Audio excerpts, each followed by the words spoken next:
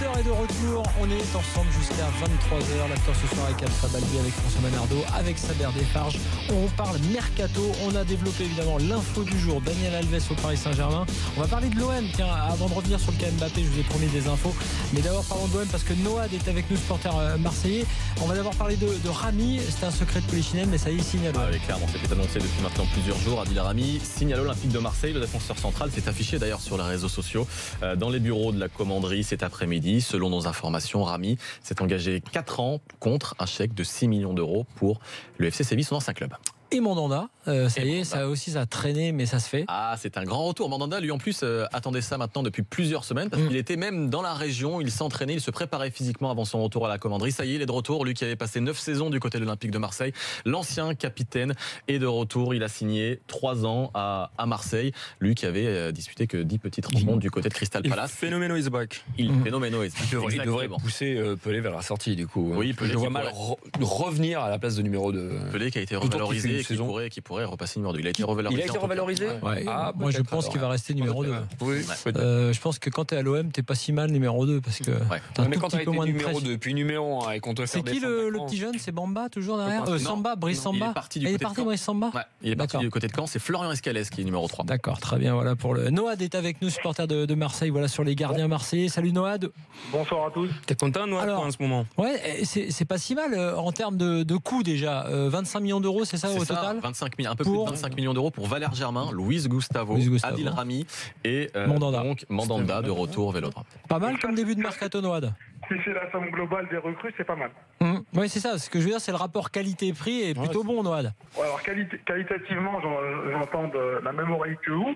Maintenant, moi, ce qui me, ce qui me, ce qui me désole un petit peu, et pourtant je suis fan d'un, d'un Mandanda que je soutiens depuis euh, contre vents et marées depuis toujours. Ce qui me désole un peu, c'est, le constat et le constat d'échec euh, des, des Marseillais qui sont toujours obligés de refaire euh, appel aux anciennes gloires pour redorer le blason de la maison. Que ce soit Tovin, que ce soit Payet, que ce soit Mandanda, que ce soit Fanny. On a parlé d'un retour de Drogba à un moment. Mais, Bah, non, alors Drogba, n'en parlons pas parce que c'est lui Non, qui non, joue mais- avec ça. Mais, mais par exemple, Tovin, c'est une réussite.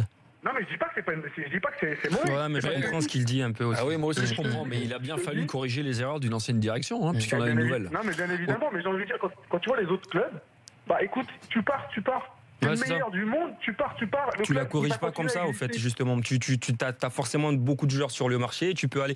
Au, au pire, tu prends un ou deux qui reviennent, mais tu n'en fais pas forcément beaucoup autour, quoi. Je suis ce que, ça. moi, ce que je cible, c'est honnêtement, on est tous des amateurs fanatiques de football. À un moment, la cellule de recrutement, bah, passez-nous les clés, on va le faire le travail si vous n'êtes pas capable de le faire. C'est pas Oula. possible qu'on soit obligé à tout le temps d'aller re- récupérer. Il n'y a pas de 109 en fait. Les mecs qui connaissent la maison et on sait très bien comment ça se passe. Ils vont reprendre euh, leur, euh, leurs habitudes, ils vont reprendre euh, leur place.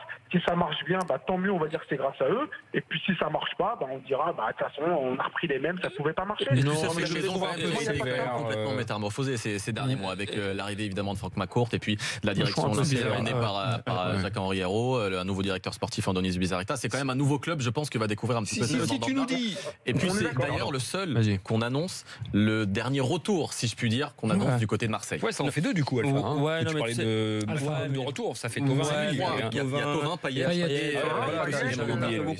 Mais, là où moi je suis d'accord avec lui, c'est que quand ces mecs-là vont te faire deux, trois. Pourquoi ils sont revenus? Parce qu'ils sont un petit peu perdus. Parce que quand tu vas les chercher, c'est quand même pas au top de leur niveau qu'ils sont, dans les championnats où ils sont Ah, partis. Dimitri Payet Et quand ils reviennent-.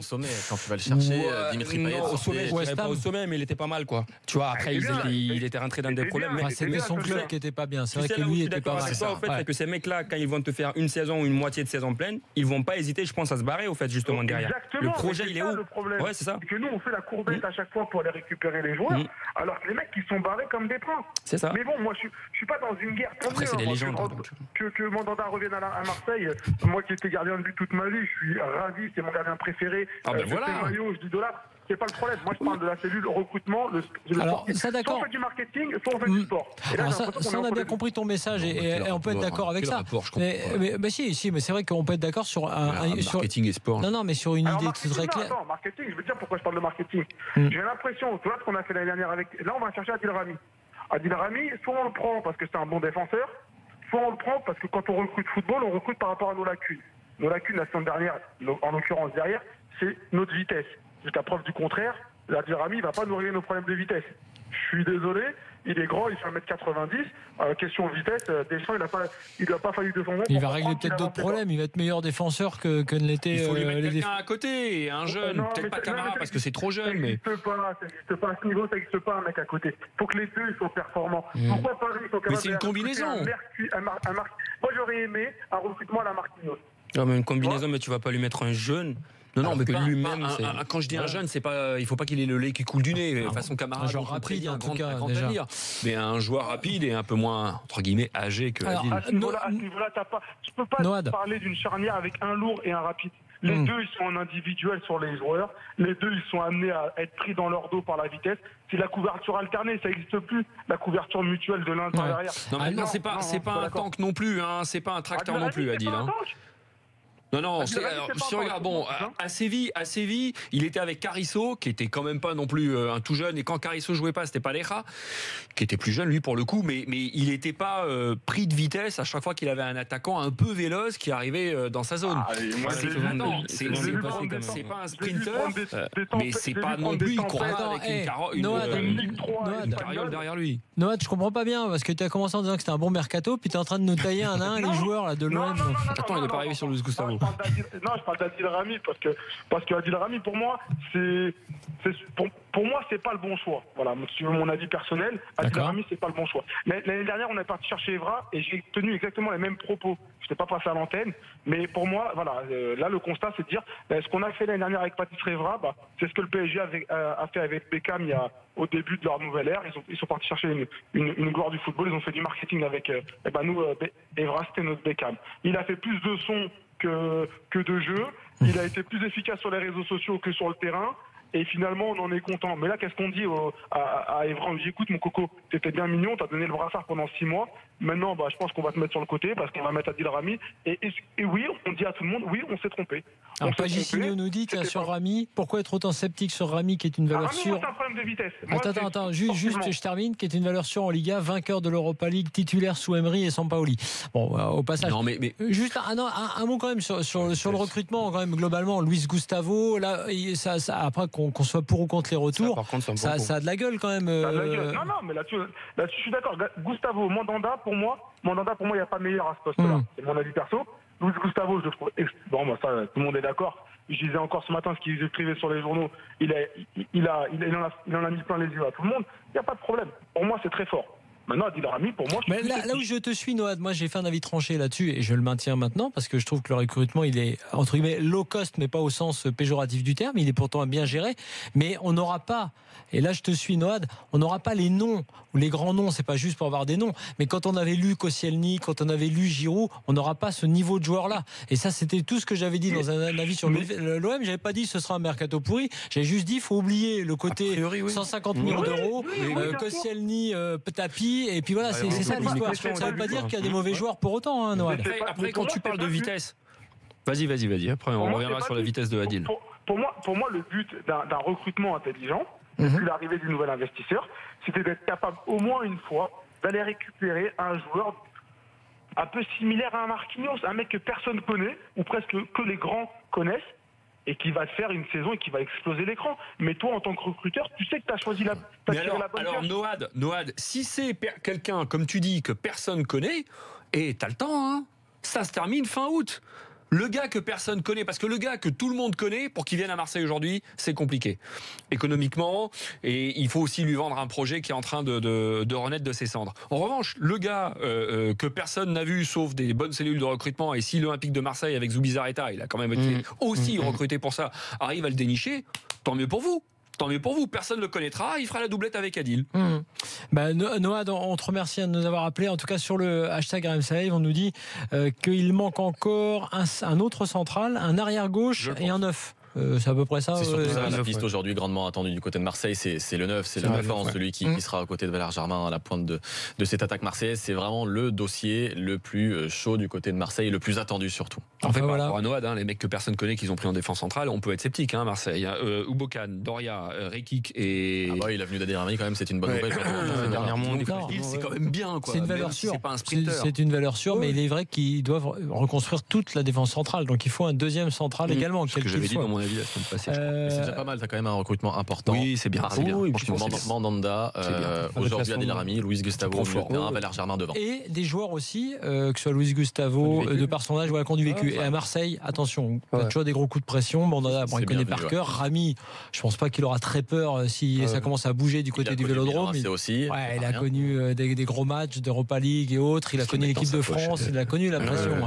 C'est- des joueurs qui ont un petit peu de, vécu. à Marseille, il faut. Rapidement, en équipe de France, la première fois qu'Adil Rami a été convoqué, il n'a pas joué, il n'était même pas sur la feuille de match, donc euh, il était à la réserve. Il avait ses équipements équipe de France dans un sac en plastique dans le vestiaire à- au Stade de France. Et il est arrivé, il s'attendait à voir un cintre quand même, même s'il n'était pas sur la feuille de match. Il a vu un sac avec ses équipements euh, en bleu dedans, un sac en plastique avec le logo de la fédération. Il a regardé le sac. Se dire, on- c'est un gentil gars. il C'est un super mec et, et on rappelle quand même le destin de ce joueur incroyable, hein, puisque à Fréjus. depuis Fréjus et aujourd'hui l'équipe de France, euh, Séville, Marseille et autres, c'est quand même un, c'est une belle Et tu histoire. le dis, c'est un bon mec. Euh, et puis quand même Pamela Anderson à Marseille. et ça quand même, on n'en parle pas, mais c'est ça Attends, le je Beckham. plus rien. C'est Nolan Roux, c'est. je Ouais. Mais en tout cas, euh, c'est c'est ça le vrai, le vrai recrue marketing, c'est c'est Pamela Anderson. en Pamela fait. sur la C'est canne pas de bière. Bon, du monde dans les tribunes. Moi, j'attends la rencontre entre René Malville et Pamela Anderson. Personnellement, je vais organiser ça. Si on peut, si on peut nous filmer ça, ça m'intéresse. Allez, je vous l'ai promis, on va parler de Mbappé. Euh, pas mal d'infos, euh, Saber, et des infos RMC Sport. Alors, effectivement, comme l'a révélé un petit peu plus tôt l'équipe, oui, l'entourage euh, Mbappé a rencontré euh, de nouveau le Paris Saint-Germain. Une démarche d'ailleurs appréciée par, par l'entourage. Pourquoi? Parce que c'est Unai Emery directement qui s'est déplacé à Bondy rencontrer le père Il a pris le RER de tout. l'attaquant. Je suis pas certain qu'il ait pris le RERB, mais euh, allez savoir. Lui qui vit en, en Seine-Saint-Denis, insuffisant en revanche, d'après nos informations, pour le convaincre de se raviser, parce que Mbappé.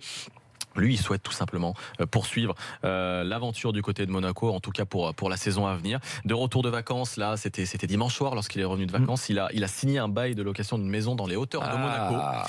Pas loin d'ailleurs du centre La d'entraînement de l'ASM, exactement. L'attaquant qui disposait pour l'heure, je ne sais pas si vous étiez au courant de ça, toujours d'une chambre du côté du, du centre d'entraînement, du centre de formation pardon, de l'AS Monaco. L'entourage de, de Kylian Mbappé doit rencontrer prochainement la direction monégasque. Une prolongation est dans les tuyaux pour peut-être d'ailleurs faire du jeune attaquant de 18 ans l'un des plus gros salaires du club. Ouais, ça ça, reste ça. à voir. euh, mais je constate que Saber a ses entrées auprès des agents immobiliers de la Côte d'Azur. mais- non, mais la prolongation, oui, c'est dans les tuyaux. Tu, veux- tu Non, veux, mais t'as tu- veux le prix c'est- du loyer tu me l'as dit tout à l'heure. Mais non, non, la prolongation est dans les tuyaux, mais C'est un loyer à pas cinq pour chiffres Tout de suite, tout de suite. Euh, Oui. Ah oui. Ça m'étonne Eh pas. oh, Ah, c'est. Monaco et les Ah oui. alentours. euh, Parce que moi, pas loin de chez moi, j'en ai un déjà à 9000, mais euh, je vois ce que c'est. Donc à Monaco, j'imagine, c'est au sud. Donc j'ai dit 5 chiffres comme ça. Ah Oui, parce que Florent Gautreau a un très bel appartement dans la haute. Ouais. Juste Et- à côté de la et- future demeure de et- Que je joue Kylian 9000 euros par mois. Semble-t-il, monsieur Desfarges, que les, les relations entre euh, Jardim et euh, Mbappé euh, se sont réchauffées. Tant mieux. Ah. Alors bon, ouais, très bien. Bah, tiens, justement, Stéphane, supporter de Monaco, nous appelle au 32-16. Salut Stéphane. Oui, bonsoir l'after. Bonsoir alors, Stéphane. bonsoir. Peut-être qu'Mbappé euh, va rester à Monaco. Les infos de Saber là, le, le confirmeraient. hein, va évidemment, être prudent. Euh, Stéphane, c'est une bonne nouvelle, évidemment, pour Monaco. Ce serait une bonne nouvelle. Oui, oui, c'est une bonne nouvelle que Mbappé reste. Euh, Falcao est là. Bon, maintenant, on, on espère tous garder aussi Neymar, garder Mendy. Ça, c'est pas encore. euh, Mhm. apparemment, bon, Monaco refuse des offres pour Neymar. Donc, euh, j'ai entendu que si Mbappé partait, euh, Neymar, Mendy euh, partait aussi. Alors, bon, là, c'est de bonne augure. En plus, avec les recrues comme euh, Tillmans, Maïté, que j'ai vu contre le Rapide de Vienne, qui est puissant au milieu. Euh, je, pense- je pense que Oui, parce qu'on rappelle quand même que sur le départ, il y a Bakayoko à Chelsea Ouais. et Fabinho peut-être à l'Atlético, même s'il pourrait rester six mois. Euh, mais ça veut dire que le- évidemment l'enjeu du milieu, là, on, va, on en reparlera sans doute un moment ou un autre. hein. Il y a Tillmans, ok, mais Oui, euh, euh, Et il y a Maïté aussi Ouais, qui a été, Ouais. euh, Oui, qui a c'est été sûr. Il y recruté. a le petit. Et Il y a le petit Mboula aussi, que pour moi c'est une bonne recrue aussi. Il y a, Un peu plus offensif, Voilà, après, après, maintenant, je pense qu'il faut qu'ils aillent chercher un, un attaquant de plus. Il parlait de Baldé Keita, je ne sais pas où ça en est.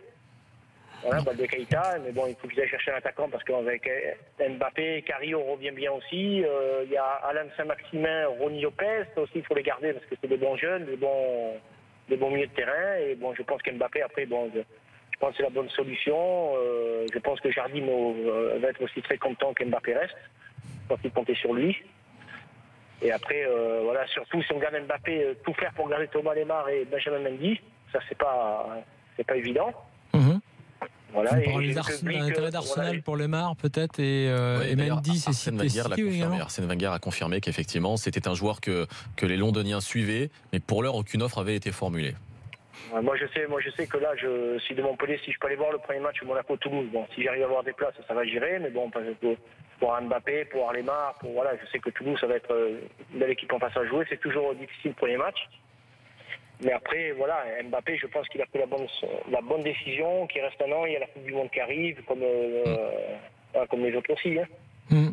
Et puis, il va débuter la saison pour la première fois de sa carrière en tant que titulaire. titulaire, ouais. Ça Ouais. aussi, c'est. Ce qui n'était pas le cas la saison dernière. ouais. saison Et dernière. ça lui permettra évidemment peut-être de, de- de voir si, enfin, à tout son entourage aussi, s'il a bien les épaules pour euh, aussi tenir Bien ça, sûr. cette, place de Parce titulaire. que cette saison qu'il va commencer, il y aura des projecteurs sur lui. Alors en revanche, c'est vrai que là où le. PSG avait tapé juste en envoyant Emery pour lui parler, Hmm. c'est que le projet sportif, le fait que peut-être le PSG construirait son jeu autour de lui, c'était c'est ça à mon avis l'angle d'attaque plus que l'aspect financier euh, parce que Hmm. Mbappé sait que que ce soit le Oui. Real, le Oui, oui, PSG oui, ou. Monaco, il, aura de l'argent.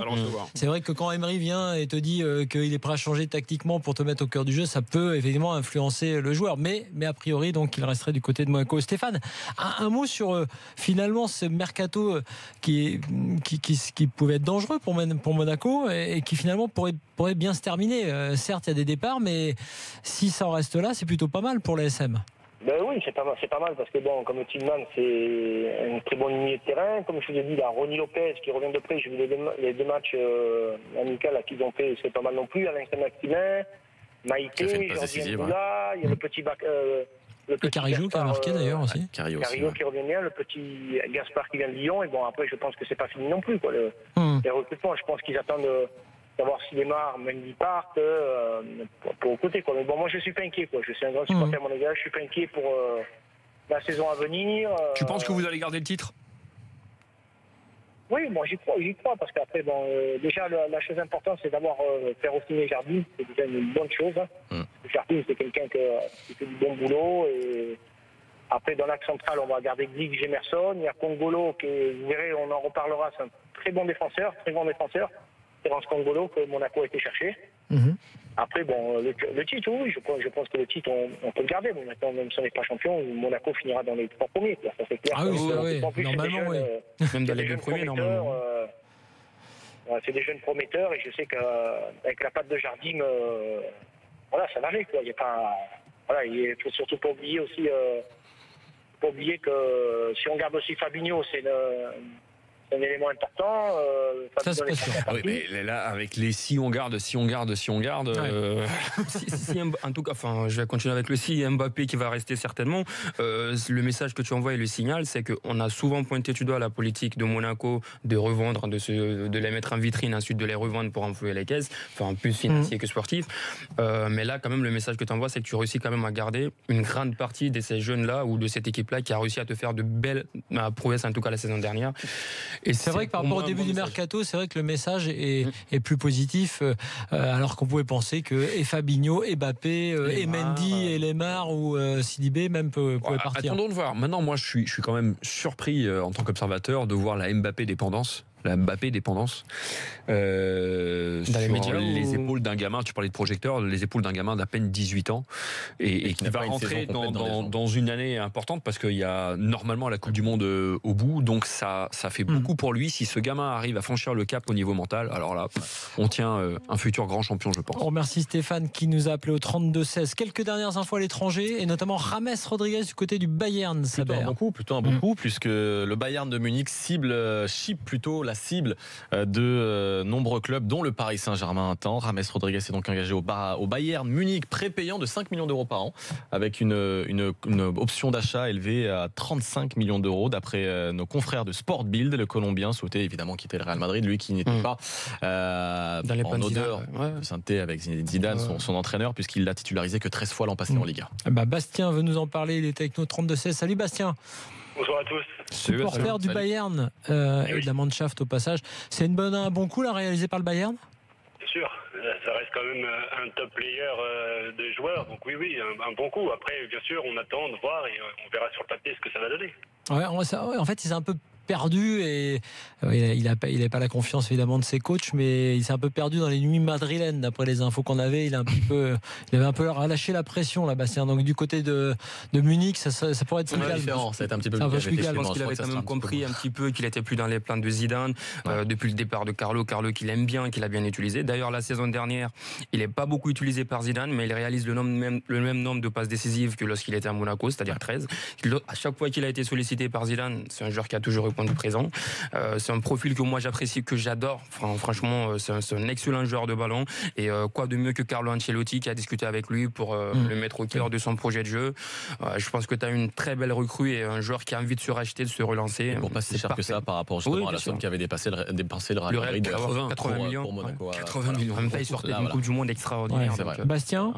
Oui. Ouais, non, ton avis comme ça, tu, le vois titulaire, tu le vois comment toi dans, dans cette équipe? Ça va être compliqué quand même. Hein, ah, bah oui, ça va être compliqué, mais après, il a, forcément, il aura sa place à un moment ou un autre. Donc après, c'est lui de montrer euh, ce qu'il vaut. Quoi. Mmh. Bon, bah écoute, on verra ça. Ouais, c'est le Bayern quand même, attention, mais c'est vrai qu'il a, il a un entraîneur déjà qu'il connaît, qui sait le faire jouer. Aussi, Et il va retrouver de la confiance, du temps de jeu et donc peut-être un peu d'équilibre aussi, on l'a dit dans sa vie euh, perso. Merci Bastien d'avoir été avec nous. Mais de rien, bonne soirée. À, bientôt, salut, salut, Bastien. Dernière info qui concerne Donnarumma. Eh bien, apparemment, messieurs, Mino Raiola, son agent, a savamment réussi son coup. Encore une fois, sa manœuvre a, a, payé puisque le jeune portier italien de 18 ans a, prolongé son bail aujourd'hui jusqu'en 2021. On parle d'une énorme revalorisation salariale. Différents chiffres qui courent, notamment 6 millions d'euros par an. À 18 ans, j'aimerais bien savoir qui gagnait autant par le passé. Personne, je pense. C'est peut-être une première ouais, de gagner autant d'argent à cet âge-là. Donc il va, justifier, il va justifier son, son surnom de dollar Roma que lui avaient attribué les supporters italiens qui étaient agacés par cette, euh, ce petit jeu qu'il a fait cet été via son agent. Mais c'est vrai que c'est surtout ça qui va avoir du mal à faire accepter, à digérer mmh, peut-être parce qu'il a pas eu qu'un été un peu compliqué. D'ailleurs, le PSG aussi avait été dans la dans l'affaire à un moment donné dans la boucle et ça lui a permis donc d'avoir ce fameux salaire. Saber, merci. Merci à vous. Saber Desfarges qui est avec vous, euh, qui est en tournée dans toute la France, mais, euh, mais pour l'instant il est dans l'after. On n'a pas encore bloqué toutes les dates et on, le retrouve demain. soir au moins ici. Demain il sera tu encore soir eh oui, évidemment, avec plaisir. Si tu m'invites, François, tu sais, moi je viens. Ouais. Mais tu es toujours invité. C'est vrai. Pas besoin de recevoir un carton. Bah, c'est table ouverte. Tu défais un bouton de plus demain soir, non? Il y a bien de chance. D'ailleurs, demain, moi, je commence à être âgé un petit demain, peu. il fera plus chaud.